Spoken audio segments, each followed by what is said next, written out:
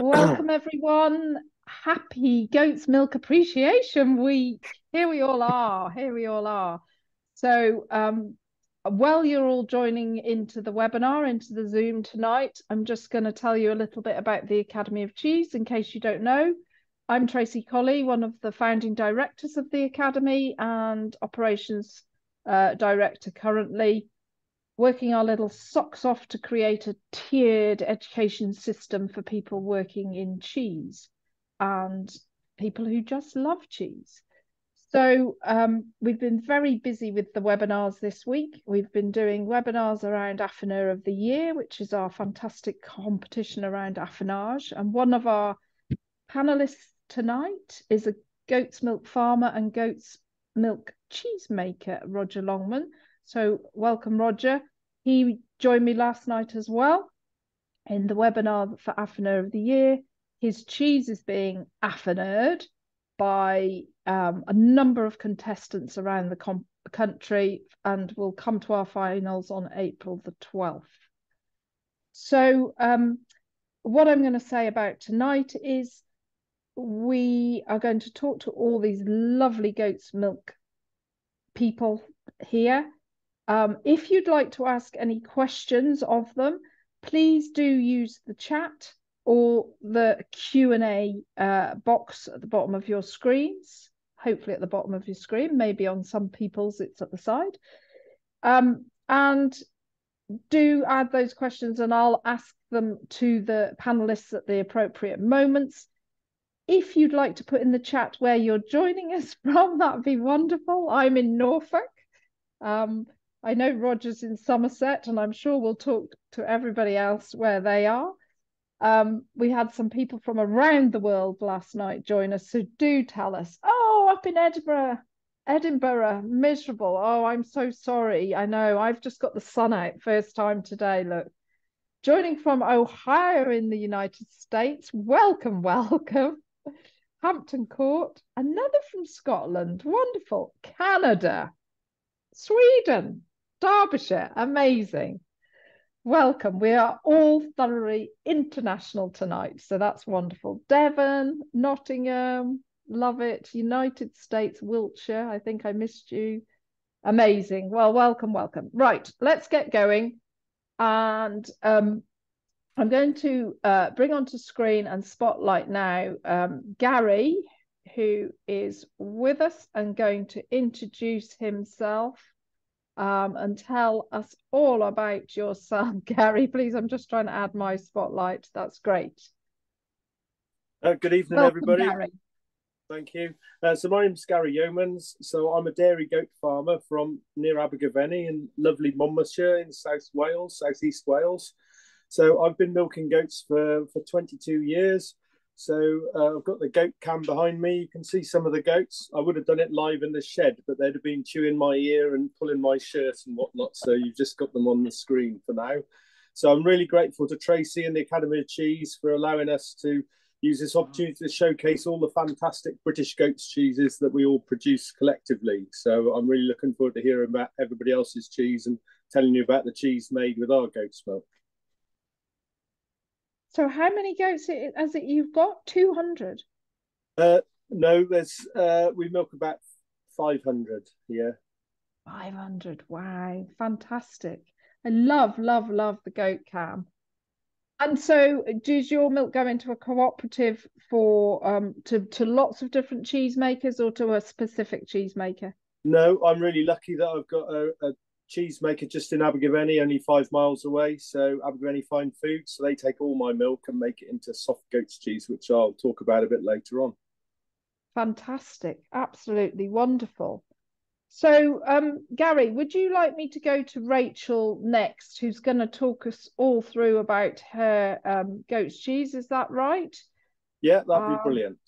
Okay, I'm going to de-spotlight you with no offence at all, and come back to Rachel. Hello, Rachel. Hi.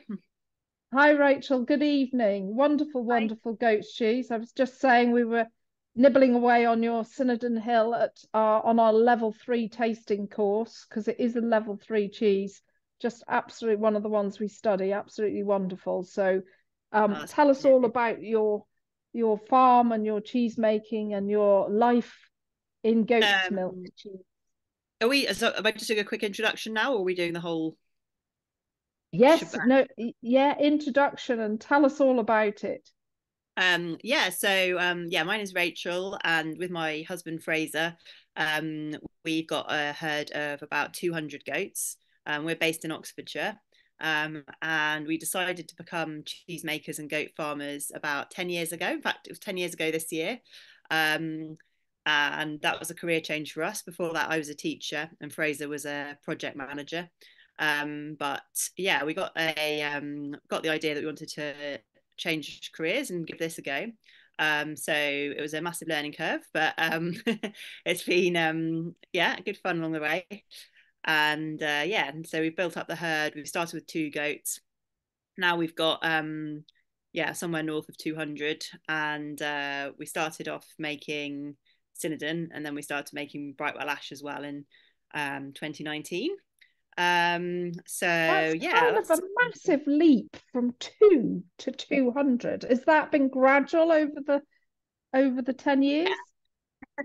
Yeah, pretty much. Yeah, yeah, um, yeah. It's difficult to find. Um, one of my bugbears with the archers is always that when people decide they want to do something like get a new breed or get a certain type of animal, they a week later they've got them. But in real farming life, it's not like that at all especially not in goats. and um, we had a particular um, breed we had in mind that we wanted, and um, yeah, so you have to buy, you have to buy, you know, no one sells their best goats usually, so it's a slow process of trying to build up. And like we bought them, bought them young, bought a couple that were in kid, and then yeah, I think the um, second year we had 35, third year we had sort of 90, and then yeah, we've been sort of um, a bit more steady since I don't know now, four or five years, something like that.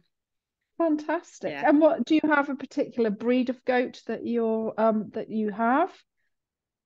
Um, well, we started off with um, Anglo Nubians, which are known as the Jersey cow of the goat world. Um, but as time's gone on, we've been um, crossing them more.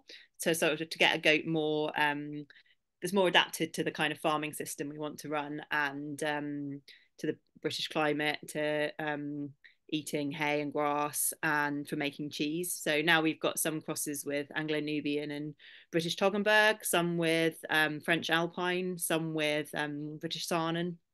Um, so yeah, and uh, I've got my eyes on a few other breeds to try crossing with as well. Um, yeah, that's the fun part. Do you enjoy, you enjoy that? You obviously enjoy that side of the business then. Uh, yeah, I do. Yeah, yeah, um, yeah.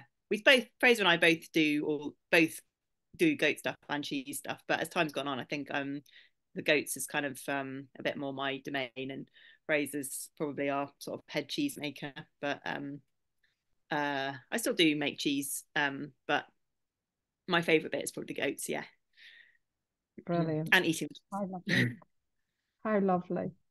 And um, did you have some pictures that you wanted Toby to share tonight? Or yeah, you... yeah yeah, I've got a um yeah, Toby, are you able to share that? I've got some photos of our farm and our cheese making. Brilliant. Yeah, I will do. Then are we is Rachel then going to go into the tasting of Sinodun Hill? I think up to you guys. Yeah, I think that would be really yeah. nice because I'm sure all of our audience are sitting here with their wonderful boxes. Um, uh, they were lucky enough. Yeah, there were some a, who a, have. A, yeah, there were some who had a box of boxes. cheese. So it'd be great to start nibbling. I'm sure. Okay, Rachel, I'll bring your presentation up. I'll share the screen. Thanks. So this was slightly modified from a presentation I did to a local WI group. So hopefully it'll still all make sense. Um, but um, yeah, there's just some pictures to give some context so you can see a bit of our farm and um, our goats and our where we make the cheese and sort of the processes behind it. Um, so you can picture it a bit more. You've just um, got your files at the moment, um, uh, I've got it on screen. I'm share screen. Ah, right. I've, I've... Is it worked? No, we're actually on your um on your That's list really unhelpful. Right. in Stop that share. folder. So you need to share. Click on the thing. Click click on the actual presentation. I was also okay, going to say we were on. Um, Is that working? Oh, yeah, that's it. Yeah. Yeah. Okay. Cool. A bit more of our um, farm. Then uh, we had a feature on Countryfile last Sunday. Um, so yeah, there's a bit more sort of um, footage from around our farm if you want to look that up. So yeah, that's um that's Fraser and I, and um, those are the two cheeses that we make. So Sinodun is the pyramid, and Brightwell Ash is the um, ash covered one. Um, so if you go forward, Toby, to the next slide. Um, and as I was sort of saying before, our um, so yeah, our decision to become goat farmers came from um, reading a article about a goat's cheesemaker in a woman and home magazine. It's not actually a publication that I usually take, but um, it had been left in a, a, place we stayed in on holiday, and um, I was leaning on it to play a game, and then read this article and sort of joking about it, and then.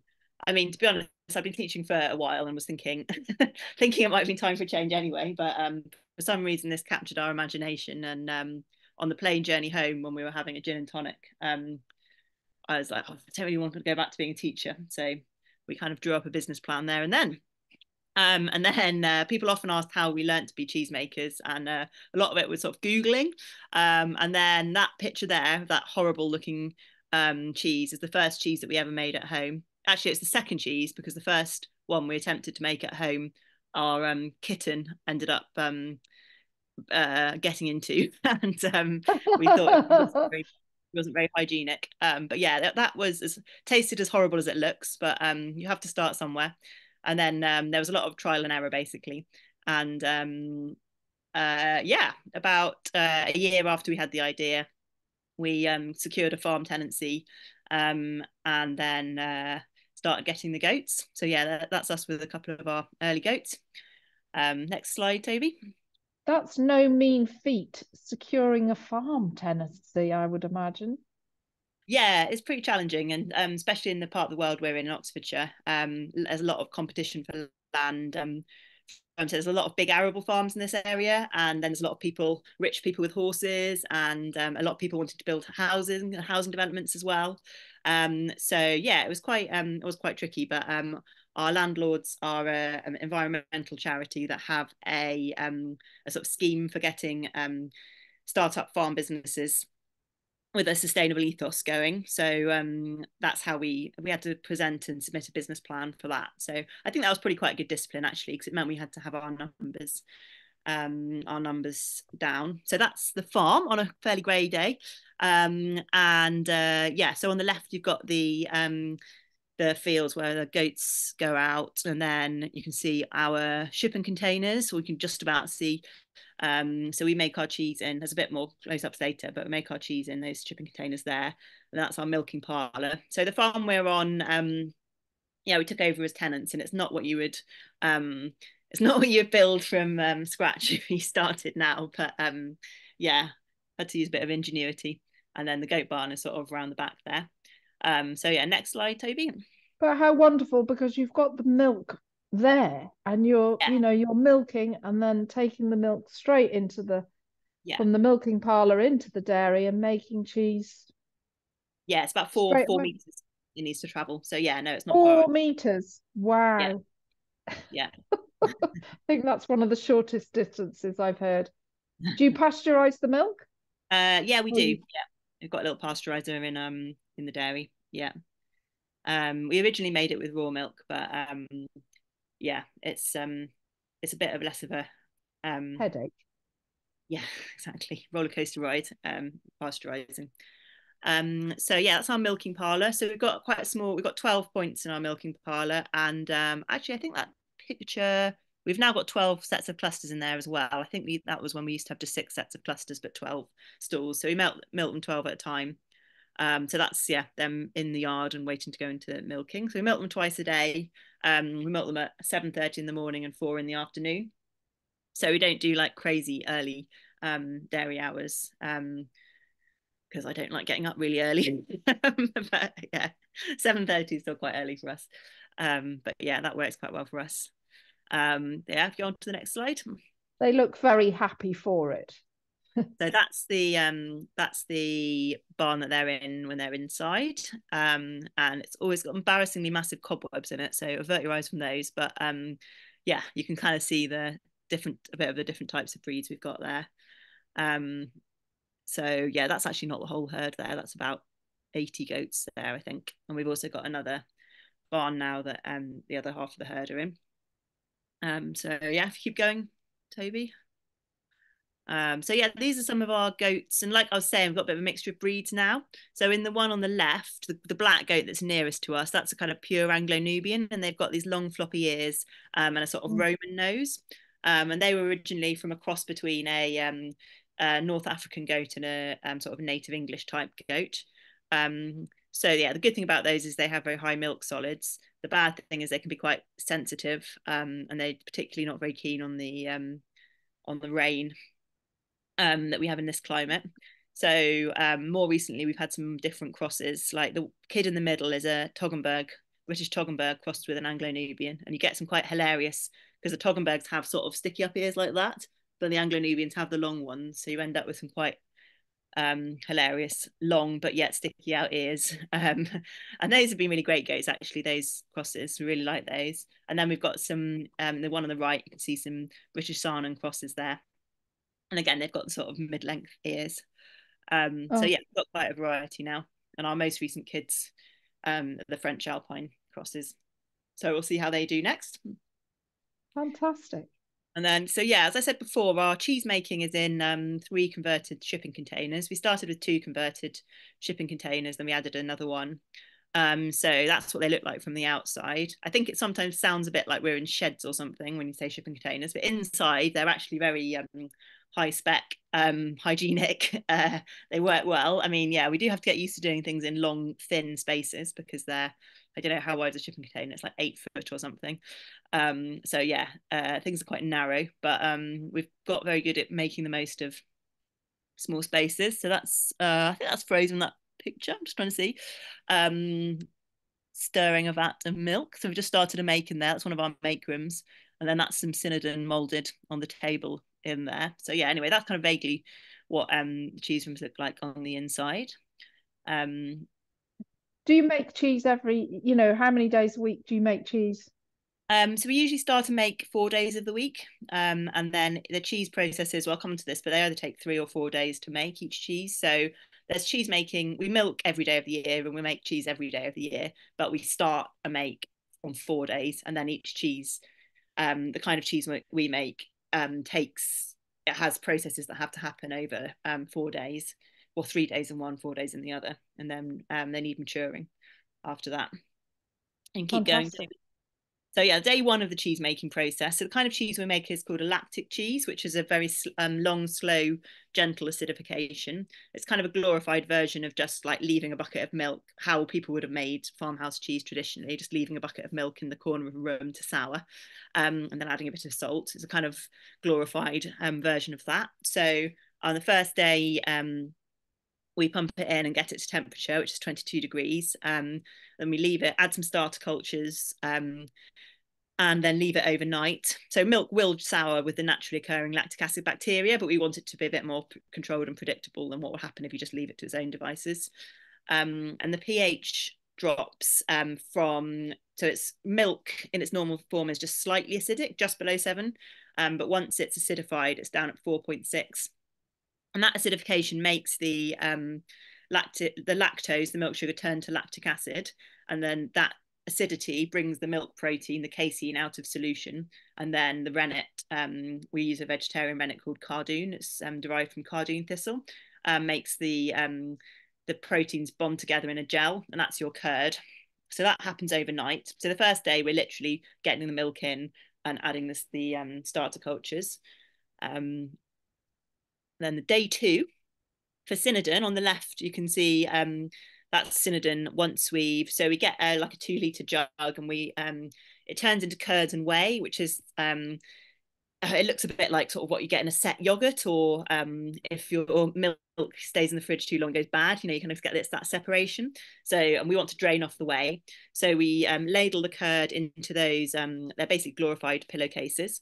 Um, so you ladle think it's six or eight jugs into each one, and then the whey drains out. Again, it sits there overnight, so that process takes a couple of hours. Then it'll be waiting. With Brightwell, we use a different ladling method. So we use that um, thing that looks like an ice cream scoop to ladle the curd out one scoop at a time. Um, and each uh, mold gets five scoops in it, and then it drains down slowly. Um, then we turn it once it's drained down a bit, drains down more. Um, and then, yeah, we leave it overnight for that whey to come off. And then on the third day, which is the next slide. Um, that looked like my very good friend Owen Davis on that last slide. Yeah, good spot. That's right. Doesn't actually you work. You roped him into I roped him into cheese making for the day, did you? Yeah, yeah, exactly. Fantastic. Um, so on the left, you can see what happens overnight. So the top photo on the left is the um, draining bags when they've just been filled with curd, and then the next morning is what you come back to find when all the whey's drain off. Um, so then that's what's left in those bags is sort of like the texture of um, cream cheese, sort of like Philadelphia. Um, so then we empty out of those bags. We add salt. There's Fraser adding some salt, um, and we mix that in by hand. So that kind of improves the texture and also gets the salt spread throughout the cheese. And then we push them into those pyramid molds. It's a bit like um, making sandcastles. We push them in and get them sort of firm down, um, and then they get left overnight. So that's quite a busy process. Brightwell ash on its third day. Um, so you get these quite they're quite soft at this point, but they are formed, um, and we roll them in a mixture of um, salt and um, it's actually vegetable carbon. It's not really ash technically. Fraser always corrects me when I say that. Um, and it's uh, so we get that from France. Um, and you actually don't need very much. It's a very tiny amount. gives it um, gives it that color, the coloration. Um, but it forms a good um, base for the natural rind to grow on top of that. Um, so yeah, then you do that, all that by hand as well. Yeah, that's all by wow. hand. Um, labor intensive then. Yep. And then so from day four onwards, so on the left you've got a um, so we unmold the Sinodun on day four. So again, it's like sandcastles, sort of tapping them out of their molds. Um, so at that point, they're put there. You can see in the sort of the photo with six things on it. The first day, they're just like a white cheese. And then they spend 48 hours in what we call a hastener, which is where we've got, um, it's kind of a warm, uh, moist environment for the yeast to develop on the rind. Um, and that gradually, you can kind of see the development there. Um, so it gradually gets more, um, the yeast develops, you get that wrinkly geotrichum. Um, and then that uh, just continues to sort of tighten up and um, develop as, as they age. And then yeah similarly the brightwells um they develop their rind gradually. We don't hasten brightwell actually that that's a slower developing rind. Um so yeah we turn them every day. That's me turning brightwell um in our maturing room um and then yeah so that's kind of the that's basically the maturing process. Uh, and there's a lot of sort of trying to get the, the humidity getting the humidity just right and it varies according to what the weather's doing outside therefore how much your um, fridge units are coming on how much cheese you've got in the room. Like at christmas time when you're holding a lot more stock then um, the cheeses will behave differently because there's so much more moisture in the environment so then you have to get the dehumidifiers in. So there's a lot of sort of tweaking and every batch is genuinely quite different.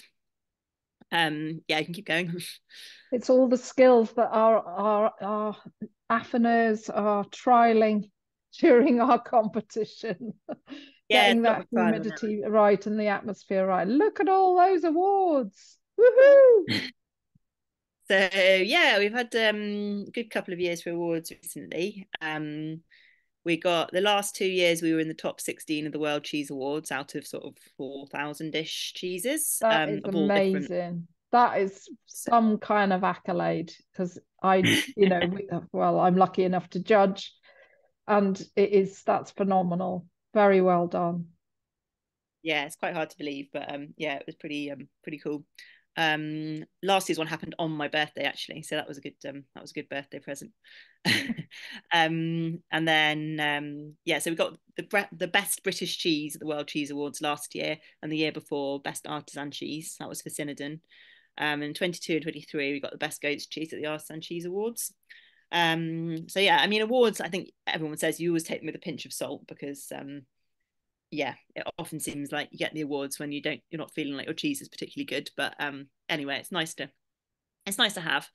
Um and um yeah, some you win, some you lose. but, um, no, but it's good because it's a benchmarker for people who yeah uh, are less familiar with artisan cheeses, and then they can go into a store, into a deli, or into a cheesemonger's, and then that when they see that there's an award, that maybe makes them more confident to try something different. So yeah. I think you know keep entering because I think it is a you know you can become complacent and say oh well I've got all of those awards already. But it does it is that um, benchmark for many many people. So well done you. Brilliant. Thanks. Yeah um so yeah i can't remember now what's on the end oh yeah i was going to say um so if you haven't already tasted your Sinodun then now might be a good moment to do it um i would say though one thing is that they um the cheese obviously is one cheese in a sense um but there's such a lot of variation in what a Sinodun Hill can be, and that's hmm. really a sort of normal part of it. So if you this was a Google image search of Sinodun Hill, um, and it's all the same cheese, but as you can see, it can be completely different. Um, sometimes you get blue mold and white mold on the rind. Um, that happens seasonally quite often. Um, some cheeses will ripen in a very um, a kind of uh, uh, more like a kind of gooey sort of um, ripening, like the one down in the bottom right. That's quite a sort of I don't know. I'd almost say like a French style. Um, and there's one in the middle that's very it's going to be almost like spreadable. And then some um, a, some when they get older, um, they can you can age lactic cheeses to be much drier. Um, they can get much more peppery um, in that way. Some of them are kind of in between and you can eat the cheese from as young as what six days old really and um up to there was somebody who um it's a French guy who aged one for a year, and um, it was that was quite a sight. Uh, apparently, only the French. apparently, the um, apparently it was um, you know, wasn't horrible, but I'm not sure it'd be to my taste. And it did look very black, I would imagine, on the rind. Yeah, black, yeah. Um, very dark. So yeah, Neal's Yard recently have been um, aging Brightwell for three months, I think, and they're now calling it Whitnam. So again, you get a very different um, cheese from those kind of those kind of things. But the kind of typical things we say about it, especially if you're eating a young one, is that the flavour will be quite yogurty um, citrusy, and that's that low pH basically that gives you those kind of flavours. Um, and then also kind of red fruit and almonds um, and other nuts as well. You can taste, especially as it ages more. Um, and the texture of your eating Sinodun, we um, often describe as being more sort of mousse-like, although again that can really vary according to the age of the cheese and how it's been um, kept. Um, and a lot of the people that we sell cheese to will be doing their own affinage. So somebody like um, Neal's Yard, Paxton, Buchanan's, um, Courtyard Dairy, they'll be doing their own affinage. So the cheeses um, might be picking up sort of certain qualities. They might have a certain way that they like to age it. Other places you're getting the cheeses um, that we've just you know as they've come out of us and they've been wrapped and kept in the fridge which is also perfectly fine but yeah it, it kind of goes for a different cheese so because of the way that we make we do the pre-draining we mix in the salts, you get a kind of a lighter texture from um Sinodun and more of a kind of clotted cream i guess you might say texture from brightwell ash that drain the where the curds drain under their own weight and it's got uh, i mean what a lot of people you know very distinctive that the paste is very white when it's goat's milk compared mm. to a cow's milk cheese where it might be very yellow or very pale you know pale yellow going up to very sort of um, dark yellow goat's cheese. Majority the paste inside again is going to be very very white yeah which yeah this, these are wonderful. Well done. Well that was a really fantastic insight. I hope everybody's enjoying their Sinodun who Sinodun Hill who are in the um, who are participating. I know we've just had one lovely lady um, who's just been telling us that she's in Rebecca. She's in hospital, so I hope you get oh. better soon, Rebecca. But she hasn't got any cheese. You'll have to. That can be your like, yeah, get well soon sort of treat for when you get out of hospital. Um, did you want to do? Does anyone want to ask any questions, or is that want to save that? I think we haven't got any questions at the moment. Um, so who are we moving on to next then? So Gary Johnston, aren't we at um, St Helens Farm? Gary, are you up? Hang on, a question did come in actually. Oh, did there? Right. Do you want to ask ask it, Toby? So uh, Aiko um, has said, do you breed for temperament or mostly milk quality, as in fats, with your goats? Um, so, um, temperament actually isn't really something we selected for. Probably should have done a bit more because we've got some quite annoying characters. Um, but no, mostly. So we're mostly looking at um milk sorry milk quality and that's actually um protein and fats and if anything the protein is more important to us than the milk but actually it's really um production qualities we're looking for as well um and as i mentioned before um the ability to milk well from grazed grass and forage rather than having to feed them lots of grain is something which is quite genetically determined so that's something i'm trying to breed for um and for more resilience in the british climate um so things like um a goat. So we're not as cheesemakers ourselves, we're not so interested in a goat that produces like super high yields, like just like volumes and volumes of liquid milk. We want the milk to have high solids. We want it to be fairly steady throughout the year. Um, we want them to be able to keep producing fairly well, and we also want them to be quite. We want them to be healthy, so we want them to be putting energy into their own body condition um, and into their own sort of immune systems, rather than lots and lots of milk into um, high lactations. So it's a lot about trying to to choose the goats which are kind of thriving best, um, the ones that are healthiest, as I say, the ones that are doing well on um, high forage and pasture, um, and uh, the less sort of sensitive um, characters and like very high yielding ones, they're less of interest to me. So fantastic! Yeah. It's you. Uh, um, so the, the, your answer to your question is has got fascinating. Thank you in the chat. So it is, and it's lovely to see how expert you've become from novice to uh, goat breeder and cheesemaker in just 10 years. Phenomenal. So thank you so much. Still, I feel like a complete beginner still. So um, there's always so much more to learn, isn't there? there is, there is, yeah. I would say as well, it's like I like to have have goats that kind of have a bit of variety in how they look. I know I'm not the only person who feels like this, so I quite like having different Um, yeah. There is one more question from another attendee, which asks which skills and traits do you feel serve you most as a cheesemaker? Um, I think you've got to be a problem solver um, and to sort of be able to embrace that. Um, so because the cheeses change so much and each batch is different, I mean, I think it is a bit of a combination of sort of art and science. But so Fraser, my husband, actually had a did a PhD in chemistry way back. Um, and okay. I think that some of that sort of um, scientific approach, and like especially when developing the cheeses, of sort of what's going right, what's going wrong, what's that coming from. Um, but then, yeah, when things aren't going the way you want them to, being able to think about what can you try to change it, um, or to try to keep it the same, um, and being like kind of patient and being um,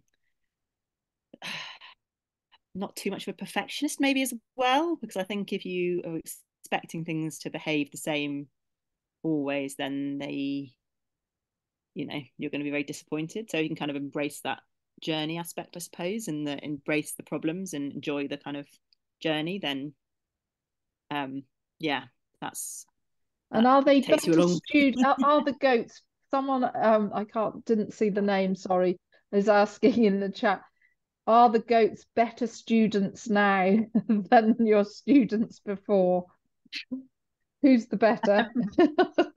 um, well, that's a good question. Probably very um, similar. I don't think actually when I was a te- when I was training to be a teacher, one of my students did climb out of a window when I was um yeah doing teacher training in a um L- London comprehensive school. So yeah, that wasn't so different to a gate actually. Um, Actually, we have a we we do have another question um, from uh, a gentleman called Keith Kendrick, who some of us do know. Um, so hello, Keith, Keith asks, Keith asks, I think there is so much to learn about the different flavor profiles from about from about a goat's cheese. Can you explain the range, e.g., from the citrus to the goaty, from the soft to the hard, which seems to be quite a newish style of goat's cheese. It always surprises my friends. There we go. Um, a lot of people don't know about goats, hard goat's cheese. Yeah. I had a mm. and the uh, lovely lady. Oh, I love cheddar and I love goat's cheese. And I said, oh well, have you tried goat's cheese cheddar? No, is there such a thing? Yeah, and blue. You know, you can make basically any cheese you can make with um cow's milk. You can make with goat's milk. Um, some are more traditional than others, but yeah, you can get blue, very nice blue goat's cheeses and um, hard ones. So um, the flavour is a lot to do with you know that the style of cheese and the aging. But I think Roger might be a better person to answer that question because he makes a more a range of different styles, so he could maybe um, give a more precise technical answer on that one. Yes, when we get to Roger, we'll we'll ask him that one again. But yeah, well, thank you so much. So, sorry, yeah let's leave that one for Roger, I think. Okay, so we're we're going to move. I think time wise, Toby, should we move to Gary now at St Helens Farm? Yep. Thank you so That's much, fine. Rachel. It's fascinating. I don't think we've ever actually met before, so it's lovely to meet you on the Zoom and hear all about your business. Wonderful. Well done. Thanks very much. Amazing. Okay, so I'm going to Gary, who was going to be Katie. Okay, Gary. Hello. yeah, I'm Gary from St Helens Farm. Um, I've been work. I've been with the business for a couple of years now. Um, I've been in the cheese industry for about thirty-two years. Uh, cheese and yogurt and butter and milk. Um, seen a few familiar faces knocking around some of the shows through uh, through the years that I've been there, but um, usually out of the goat sector, mainly in the cow and a bit of a sheep cheese manufacturer as well. Um, yeah, I've been asked to come on come on tonight just to help out and tell you a bit about us and St Helens Farm.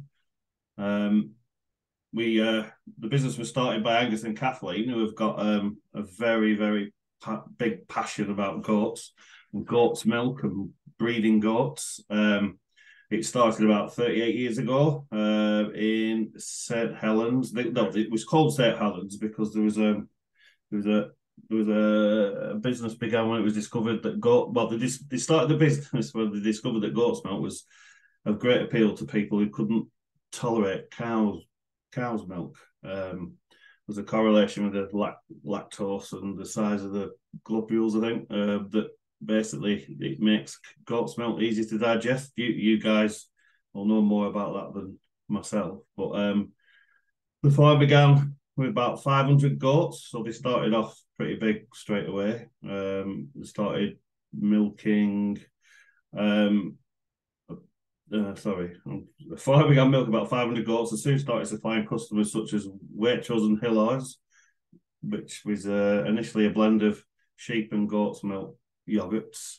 Um, the business then moved to the new site at Seaton Ross the Vale of York, and that's where we currently are now. Um, in the, in the early 1990s, they moved there. The extra land was needed to grow the crops to feed the goats and to expand the herds because what we do at St Helens Farm, we grow all our own feed for the goats as well. So we're sort of like, what do you call it, um, vertically integrated a lot. Um, we began producing the cheese in about 1998. I think Angus used to have a cheddar manufacturing plant down in the southwest as well. Um, our first third party goat milk suppliers, we started to take extra milk in because the company's grown so, so much over the last 38 years.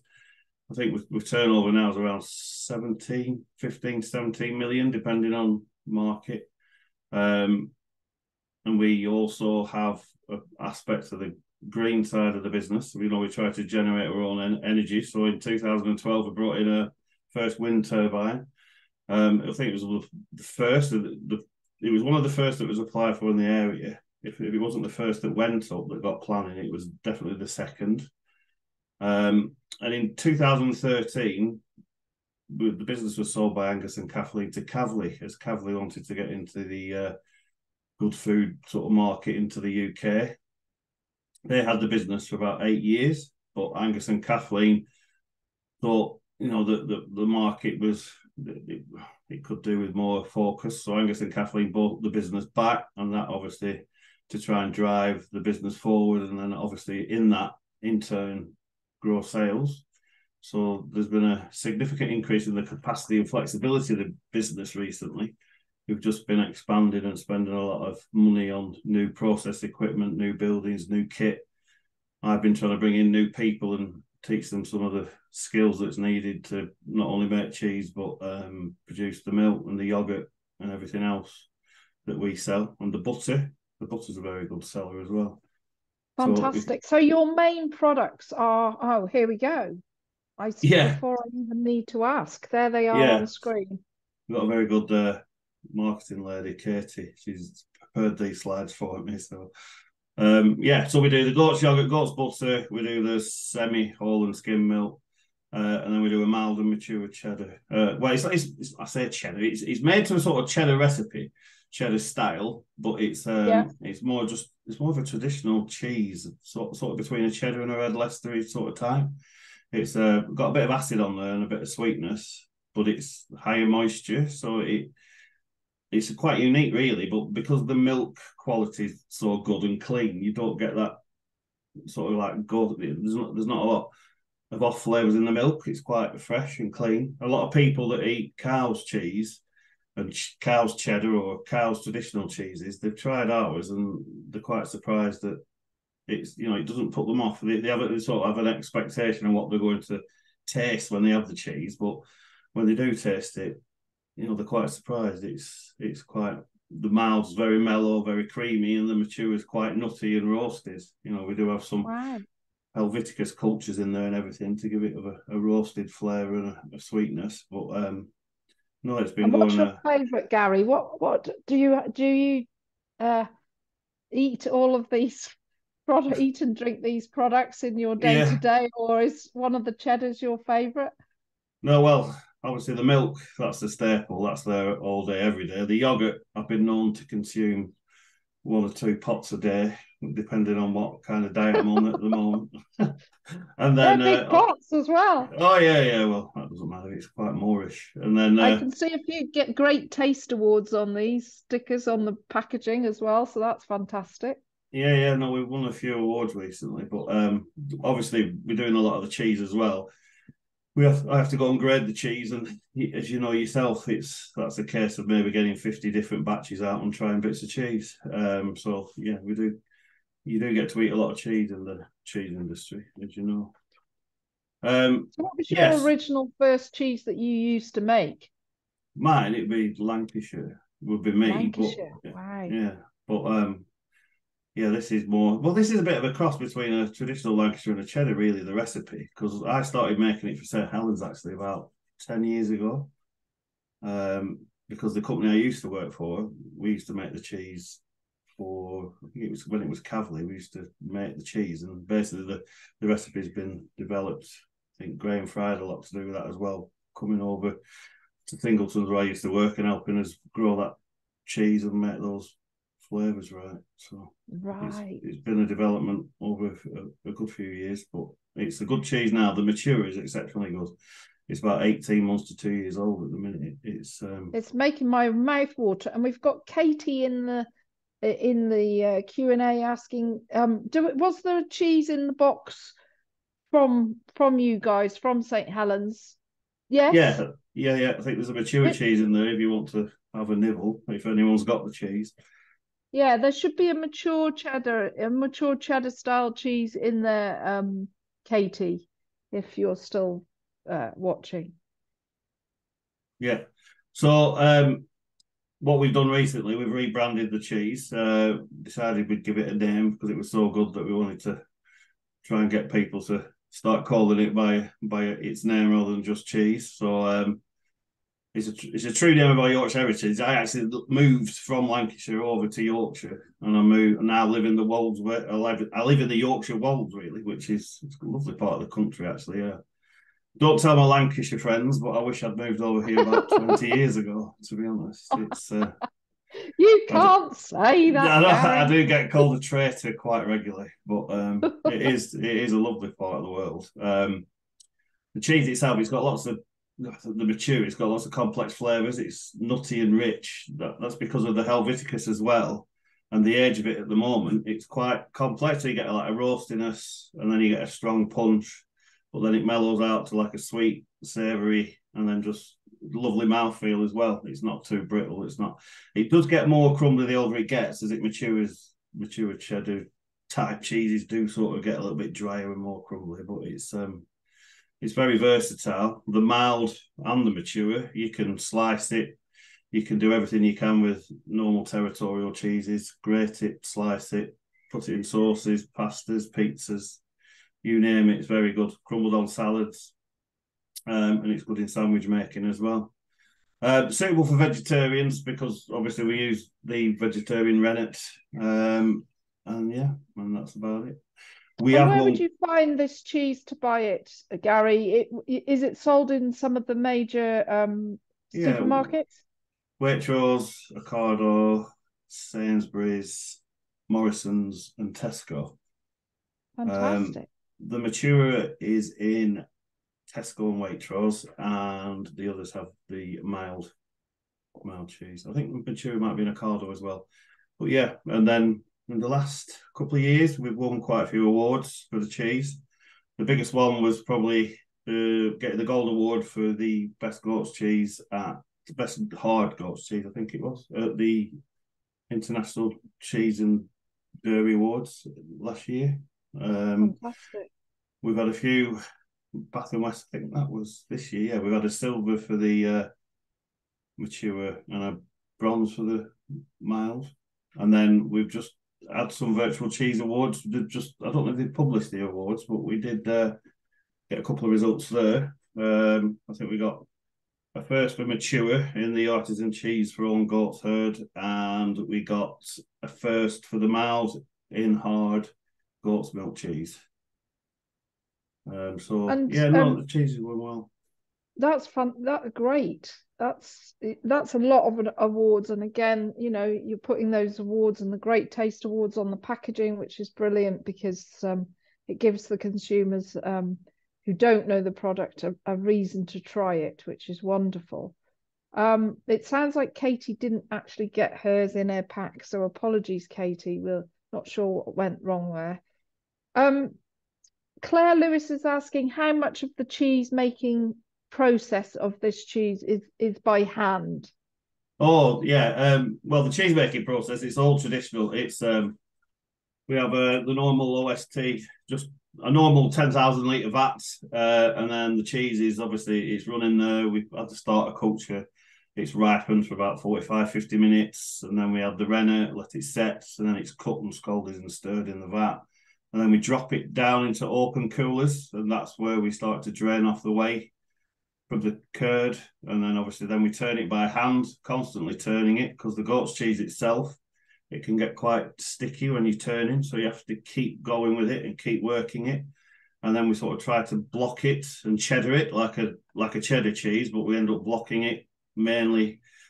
We get a couple of cheddar turns out of it really before it starts sticking together, and then we do a bit of a red Leicester kind of slicing it and turning it on its side, and then we throw it through a we would throw it through a chip, chip mill, mill or yeah, well, it's, it's either a chip mill or a tweedy mill. Well, we call it a tweedy mill. Where I used to work in Lancashire, it's sort of like a little peg mill, but it spins around at a thousand miles an hour. But Lancashire never leaves the boy. Well, that's it. So it's a bit of a hybrid of quite a few different cheese, but because I've worked for West Country Farmhouse cheddar makers and Lancashire cheese makers and Wensleydale cheese makers. That kind of thing. So it's a bit of a cross between a cheddar and a traditional cheese making and a Lancashire. So that's you know, it's turned into a bit of a hybrid, but it's a hybrid. Nice. But it sounds like it's an, an absolutely great success.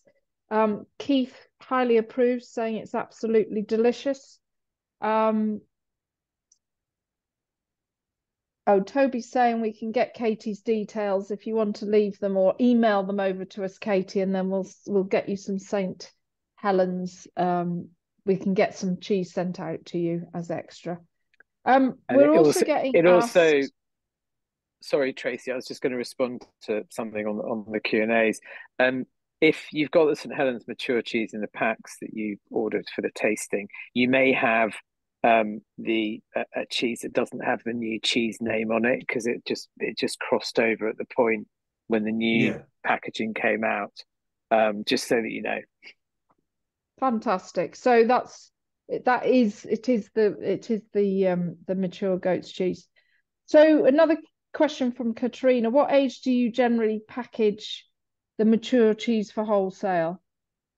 Um, it's um, well, it's changed over the last few years, but we're, we're looking at about 12 to 18 months old usually for the mature on average at the moment. Yeah. Um, we are selling a lot more. So obviously, as you guys all know, with cheese making, getting that balance right of laying stocks down and maturing, it's a it's a fine art at times, but it's um, down to age profile and flavour profile. Really, you're looking for the body and the characteristics of the cheese, but you're also looking for that flavour profile and that note or that sweetness or that roasted flavour. So it's there's quite a few different things, but I'd say on average, twelve to eighteen months at the moment.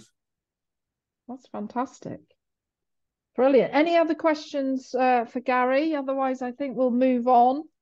Time is racing away with us. Um, thank you. It was really interesting to hear all about it and hear another perspective of quite a, you know, as a bigger producer and processing lots of goat's milk as well. Um, oh, here's one. Uh, Kerry Cryer is saying, love, love, love this cheese. I can hear Kerry saying that now. Hi, Kerry. Um, how big is each cheese? Um, well, the, the, retail size is 175 gram, but the actual cheeses that we produce in block form, they're 20 kilo. I was going to say 20 kilos, pounds yeah. So yeah. made like a, a the, the, old school sort of block cheddar, yeah. Yeah, yeah, and they're all uh, boxed by hand, put in the press by hand, taken out the press by hand, vacuum packed, and then put into crates and stored until they're ready for mature. And that's when I go over to Lancashire once once a month and start grading cheeses. Um, I think we sell about roughly between 120 and 150 tons a year at the moment. It's um... fantastic. Well, well done you, and it just proves the popularity of goat's milk now, doesn't it, mm. within these yeah. products, which is absolutely wonderful. Thank you so much, Gary, for joining us. I'm going no to de-spotlight you. you now and mm-hmm. we are going to go to, are we to you, Toby, next? Uh, no, I think we should go to Roger. Okay. Mr. Mr. Longman. Okay, okay. Roger, Roger, you are going to be up. Hang on.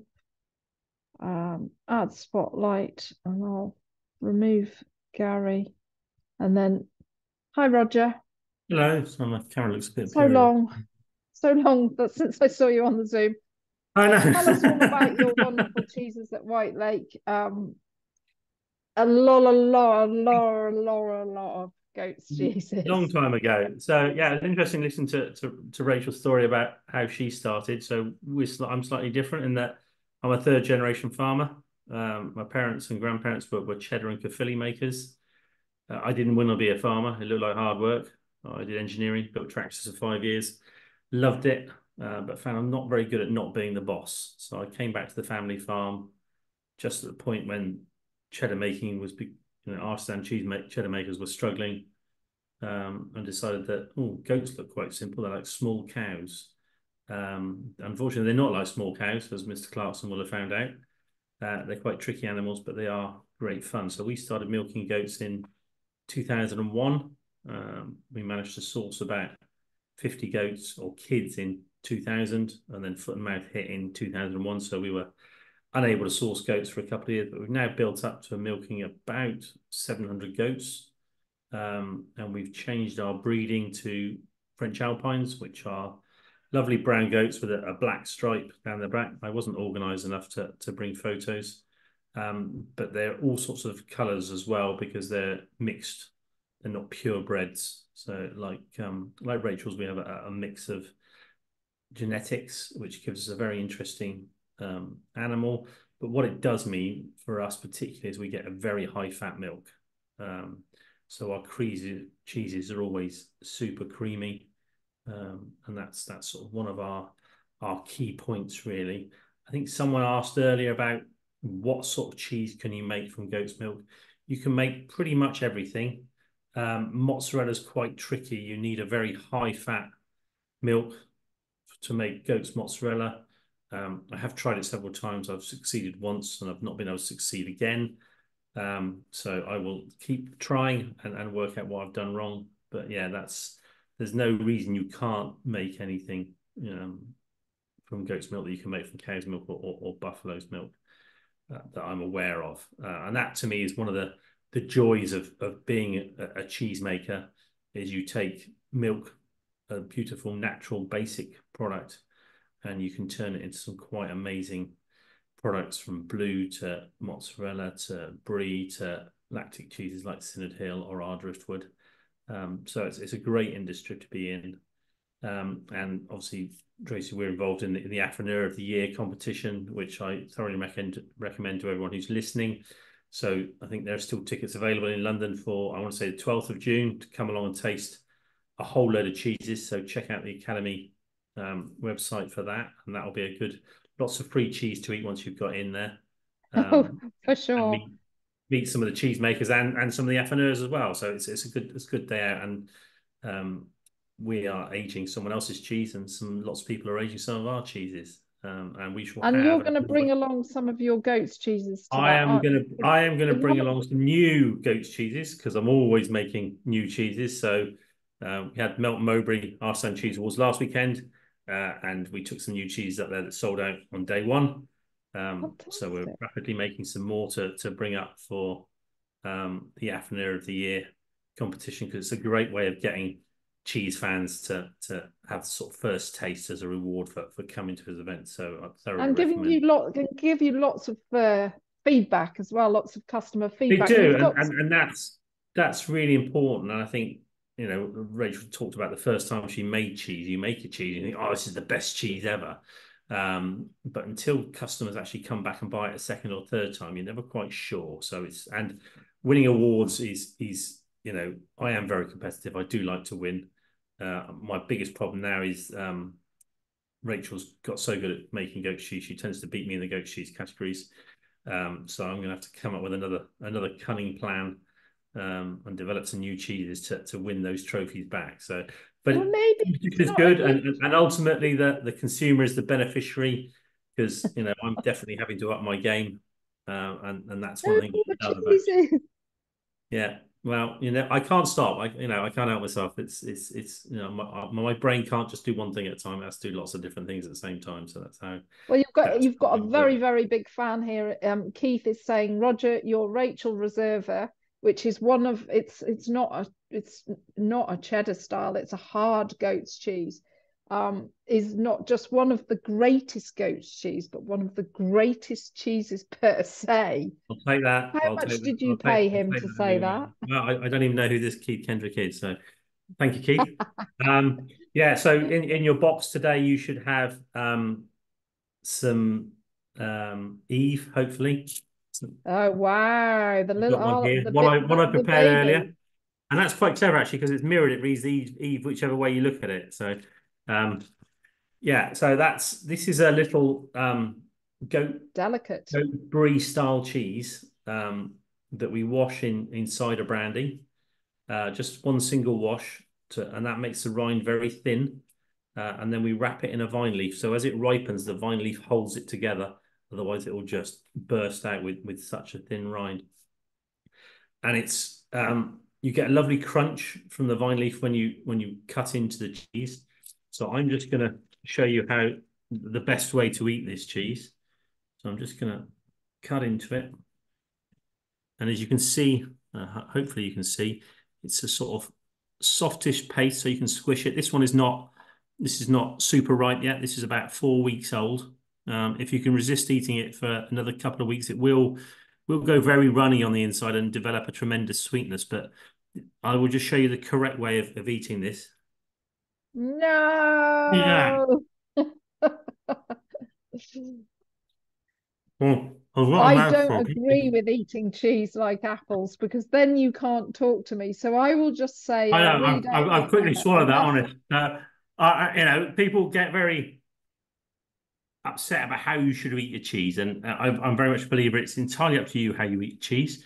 You can nibble at it. You can take a big chunk. You can you can do whatever you like. I think the the old days of um, you know people getting upset that you cut the nose off a brie um, are, are, long gone. And uh, yeah, so always enjoy cheese. Coming back to a, couple of things that um, that Gary from uh, St Helens was talking about was the the health aspects of of of, of goat cheese. So we make all the producers here make very tasty goat cheeses, uh, and we're very artisan. Uh, everything we do is is done by hand, apart from the dishwasher. Uh, that is an automatic dishwasher which we load and unload. But I, kind of feel washing by hand. Washing by hand is, you know, the days of that are, are long gone. Uh, I think someone was asking earlier about how you make cheese. The most important thing you need is a dishwasher. Um, yeah. So and it's uh, it's hygienic, isn't it? Everything it's very hygienic, and, and, and and we, we we're not a cheese making is not about a sterile environment because um, we are growing bacteria, molds, and yeasts. Um, it's about providing the right environment for the molds and yeast that we want to grow to, to win the battle. Um, and some of our cheeses, like again, like Sinodun Hill, will get occasional blue spots on them. Um, you know, and that's absolutely fine. That's just natural mold that's blowing around, perfectly healthy. Uh, and you know, you get a slightly different flavor with it. Um, you know, when is people ask, well, is that cheese out of date? Have a taste. If it if it tastes good, there's nothing wrong with it. As long as it doesn't have red mold. Red mold's bad, but much any other sort of mold is, is, is generally pretty good. But the, the thing that people keep forgetting with with, with goat's cheese is, is the health benefits um, from from goat's goat's cheese and goat's milk particularly. We get a lot of children um, will switch to goat's milk because they've got eczema problems. Um, and so that's that's really important for, for people to understand. And unlike in plant milks, you get natural vitamins and minerals already in in the product. So that's uh, so you're getting the great taste of the, the cheese or the milk or the butter, but with a lot more health benefits. So you know, I think it's it's really important that. So, so we've got um we've got a couple of things. I'll just say Claire Lewis has said, can I just give a big shout out to Roger and all the people who man the stalls at the food festivals and farmers markets and act as gatekeepers in enticing the general public into trying these great cheeses. I agree, Claire. Well said. Thank and we've got a slightly more serious question for Roger. People yeah. are increasingly concerned about climate change. Yeah. How does goat's cheese fit into the sustainability narrative? Yeah, so we, we look at our sort of carbon footprint um, from a farm aspect and from a, a cheese processing aspect. Um, the, the farm aspect, we have solar panels on our roofs and in some of our bits of fields. So most of our electricity we use on the farm is is generated from solar. Certainly for at least six months of the year. Uh, in the winter, we just don't get enough sunlight, so we're having to buy. But you probably find it if we look at it from the whole year, we pump electricity back into the grid, so it evens out. Unfortunately, we pump it back at three p a unit, and we buy it back at 21p units. It's not quite fair. Um, but that's that. And, and the cheese room, we all our heat that we use is, is generated from wood that's sourced from local woodlands.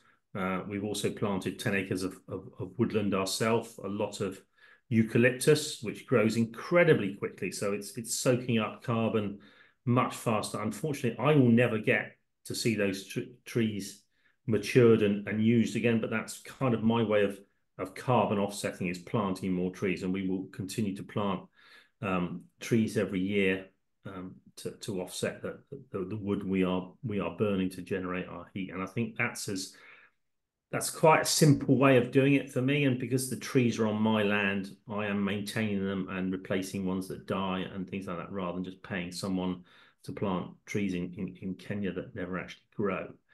Um, I think that the biggest part of climate change for us is the, sort of the methane that comes out of a goat. Um, and people always think it's, it's goats farting. It's not. It's actually goats burping. Um, and there's a lot of research these days on you know how you what you feed the goat or the cow um, to reduce that. So we we I follow a lot of research, and we're just waiting to see where that research leads us. But I think you know we feed our goats a, a pelleted cake and hay most of our hay comes from the Somerset levels. Um, so it's got all sorts of amazing plants in it, which the goats absolutely love. Um, and that's on land you can't really do a lot else with. Um, you can't grow soya on it. You can't grow wheat on it. You definitely can't grow oats on it. Um, so it's a, it's a it's a good use of of that land, and I'm a big fan of particularly cow's milk being grazed grass uh, and those sorts of things. Yeah. Fantastic. Thank you. Thank you for that. Um, okay, so I think Roger, that's been amazing. Other than you eating Eve like an a- apple, but I'm sure Adam will be very pleased. See my little joke there? Yeah. Very good. Very good. Um, who are we moving to next, chaps? To to you, Toby, or to Gary? Yeah, to no, I'll go. But thank you very I'll... much, Roger, and keep up the good work. Um, great, great cheeses. You know, we total respect. Thank you. See Thanks you in me. June. thank you. Right, Toby, you're going to talk to us. Let me. Can you see oh, that image? Going to show me the screen. Brilliant. Have you got? Have you, can you see that image? Yeah, yeah, yeah. We're on. Yeah, yeah. We're on. So I am here to um, talk to you about Delamere Dairy, who are one of the members of the Milking Goat Association, um, and they are based up in Knutsford in Cheshire. And as a dairy, they began uh, farming with goats in 1985, initially in the Delamere Forest in Cheshire, um, and they started with three goats. But today, it's a much, much um, bigger dairy and company, and it sells a massive range of goats' milk products, rather like St Helens. They do milk, they do cheese, they do yogurt, and they do do butter. Um, the thing that is on the screen that you can see is the Greek goat's cheese that they make entirely from their goat's milk. Um, obviously, for those cheese aficionados on the call, you'll know that feta is traditionally made with sheep and goat's milk. Um, but this Delamere Greek goat's cheese is a feta style cheese made purely with um, goat's milk. It's 100% pasteurized goat's milk. Um, and they suggest, in terms of its use, obviously in salads, it's great as a cooking ingredient. Uh, using it with pastry, um, works beautifully with anchovies and lamb and tomatoes and basil and black olives. So all those wonderful flavors you get from traditional European and, and Greek cuisine work really, really well with this. Um, when you're coming to eat it, I hope those of you who um, ordered the pack for the tasting and the talk tonight have got um, uh, a, a, pack of this feta in it, or this sort of feta style cheese in it, and you've let it warm up a little bit. You should always let your cheese warm up um, before you eat it. Um, but once you have let it warmed up a little bit and you get to taste it, if you're tasting it now or later, you get a beautiful, delicious, rich, tangy flavor um, with um, a very creamy texture. Um, I actually really, I don't actually have any on me today, but I have had this cheese a number of times, and it is absolutely wonderful on its own in salads or even as a cooking ingredient. Um, and it's just lovely to have such a delicious cheese made here from UK goat's milk, made by a UK company. Um, if you've never tried any Delamere products, I suggest you do. They are available in most supermarkets and um, fine food shops um, in terms of um, the range of product they do. And then the other great thing about the company is they have a really interesting website. Um, and if you want any recipe suggestions, they have a lovely recipe section there. And you'll find out more about the company if you actually look at the website. Um, just Google Delamere Dairy and it'll come straight up.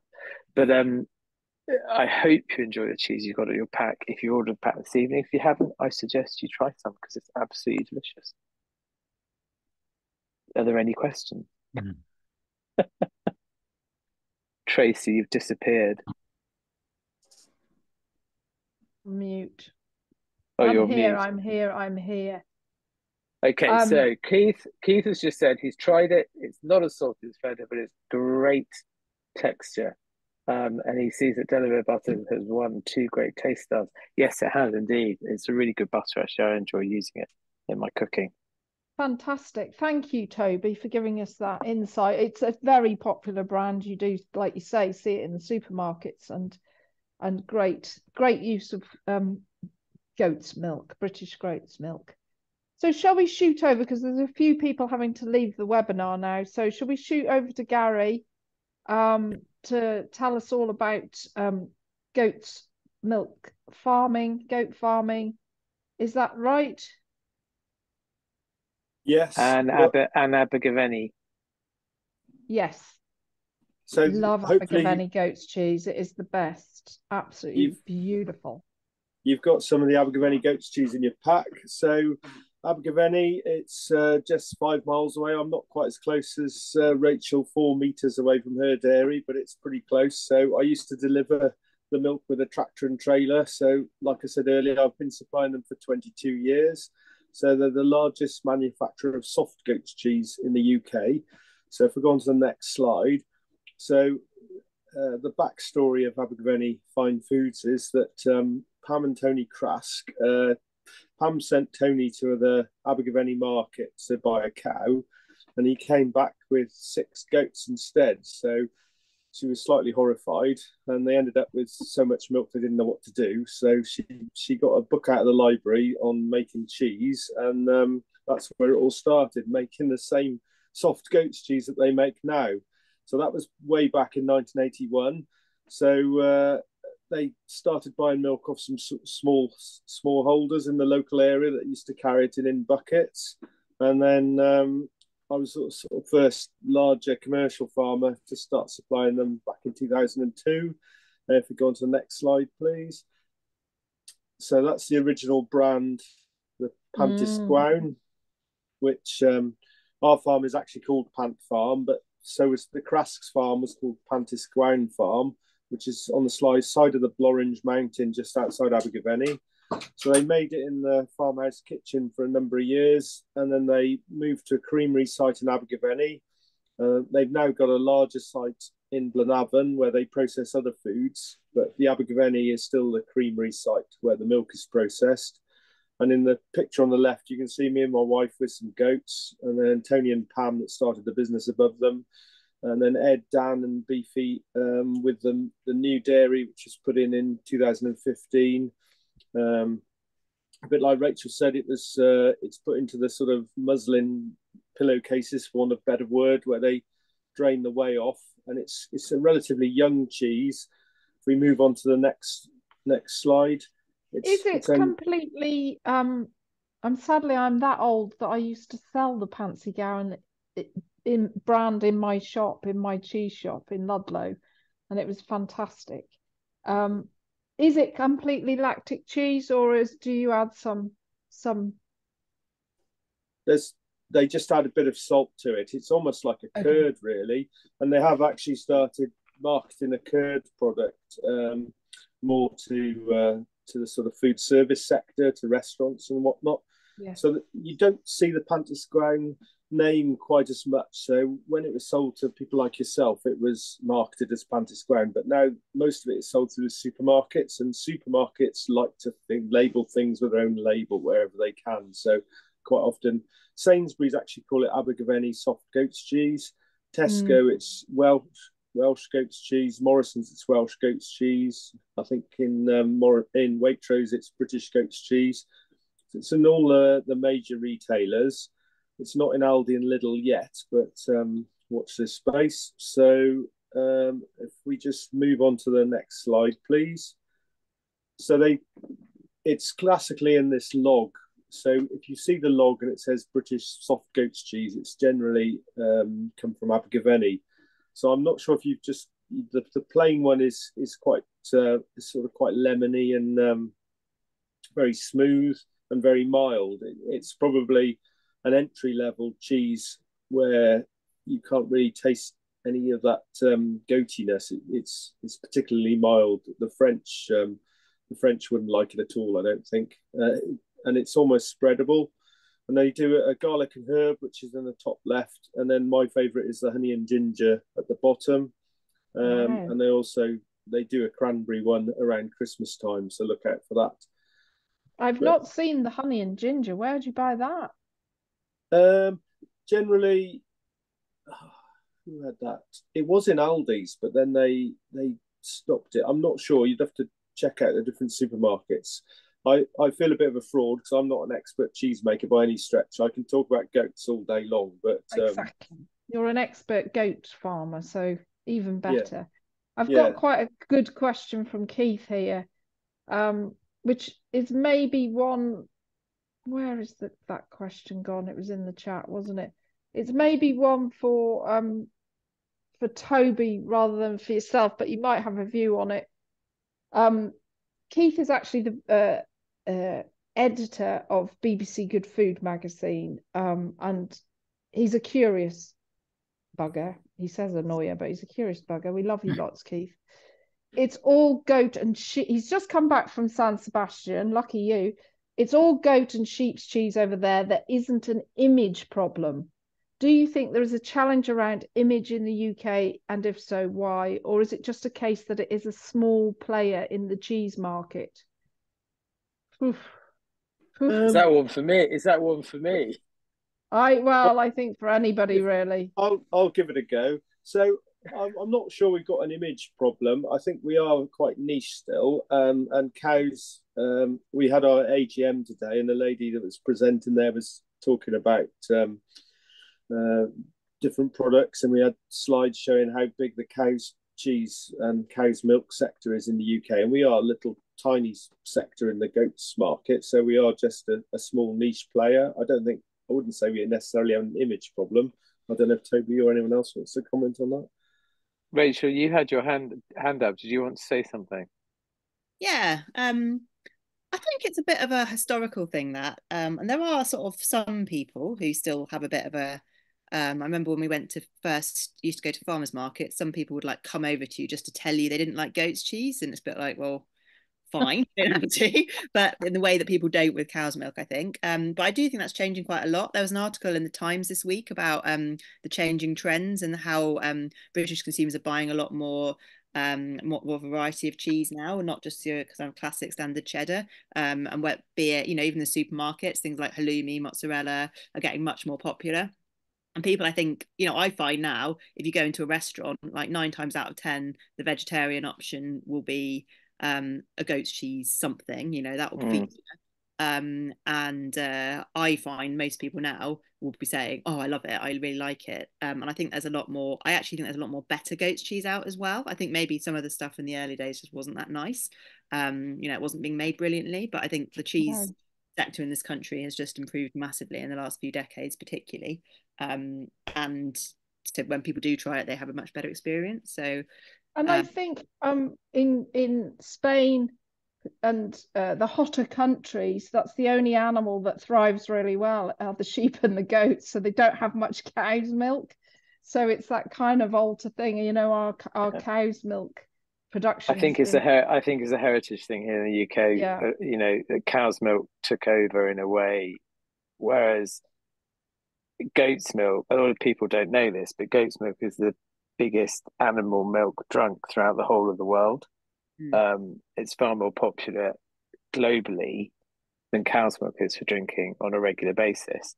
And Actually, I think here in the UK, more, sorry to talk over Toby. We, we, historically, we used to have a lot more goats in this country, and it was yeah. a lot historical reasons, like the Enclosures Act, when people um yeah.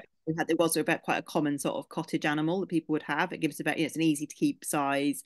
They literally like weeds and scraps. They're um you know you get a nice bit of meat from them plus it's a really manageable amount of milk for a family um, and then like with the enclosures and with um, like the wool prices in the sort of 17th 18th century and highland clearances as well that's when the mm. population mm. of goats really dropped but actually historically this country did have goats as well but yeah Sort of no, I think, I think that you're absolutely right, and that's something that I saw when I was doing some research about it recently. But I think Keith also says that I find people have a prejudice, especially around goat and blue, and I, I think here in the UK that that that is true, and I think it's challenging people's perceptions and getting them to try it. Roger Roger has a wonderful um, set of words, and I can't remember exactly what it is, but it's based on goat. It's go out and try.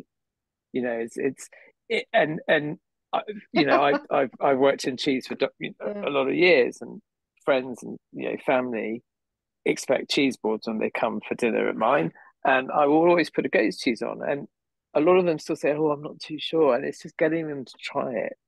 And often it's because they've had an experience where they've had something they didn't like the taste of, but there is a huge variety of flavors in goat's cheeses produced here in the UK now, and you just need to go and try them. I think. I know, and um, Kerry Cryer is saying you guys must love how GOAT stands for greatest of all time. Absolutely. And, I mean, you're having a wonderful goat's milk appreciation week, aren't you? You've had loads of shout outs over um, social media from people who sell goat's milk cheeses. And um, this is quite is this this is quite a new week in the sort of celebration. Yeah, this is. I mean, this is a. Yeah, we we set this up for the Milking Goat Association for the first time this year, purely just as a, you know, uh, to to see what would happen and to promote goats goats milk products in the UK and goats milk. You know, we had a fantastic shout out last Friday from Nigel Barden on BBC Radio London to help sort of uh, support the start of it, and we've had some really lovely social media posts from cheesemongers and people who love cheese. Um, and if you look at um, Love Goats Milk, the Instagram account, you can see all of that. and please follow us because we, we would love more more people to follow us. But yeah, it's it's it's been really good, and I I think it's just an opportunity to promote these wonderful cheesemakers we here have here, and all the companies yeah. and people involved in the goat's milk industry in the UK. Yeah, and uh, just wonderful, and it's really lovely to hear your stories and hear the perspective from the farmer and cheesemaker and to the bigger producers to the smaller producers so i hope um, everybody's enjoyed tonight's webinar. Um, we're really delighted to host different webinars like this for you guys. Um, and it's been great to have so many people join us and participate and ask so many interesting questions. So thank you to you, the audience. Um, I think we've uh, haven't got any more questions. So if the, unless there's anything anybody else would like to say, I'm going to say over and out for tonight. Gary, did you want to say a quick little roundup? No, uh, just say it's been a really good evening, and uh, I would just wish I had the cheese box here so I could have tasted it. I'm getting really hungry listening to seeing all these. I know. I mean, my mouth is watering. It's watering. I can't remember who said, but someone's just said in the chat that they can't choose which one is their favourite. So all credit to you guys. Um, I know a lot of you have to get up very early tomorrow to do more milking and more cheese making. So thank you to everybody for joining. Um, do check out Academy of Cheese website and our cheese library has hundreds of goat's cheeses in there. So um, excellent news for all and have a good rest of um, Goat's Milk Appreciation Week. Yay! Bye, everyone. Thank you.